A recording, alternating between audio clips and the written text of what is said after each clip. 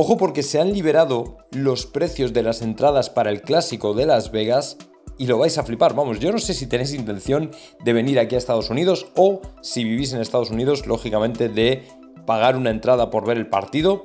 Pero estamos hablando de entre 285 euros la más barata y 850 la más cara. Una auténtica burrada una auténtica burrada. O sea, son precios de partido de Champions.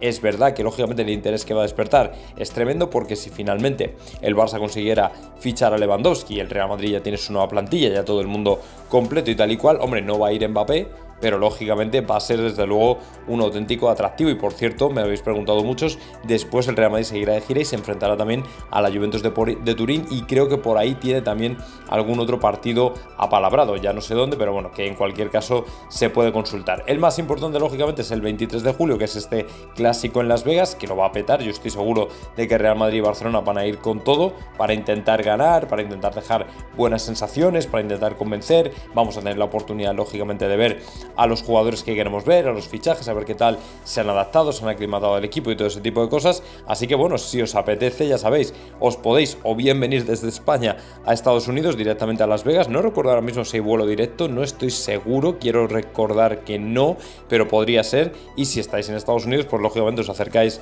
a Las Vegas, que son prácticamente 3 horas, 3-4 horas desde el punto más lejano. Y oye, lo mismo os pasáis un buen ratito. Así que nada, ya sabéis, pensadlo.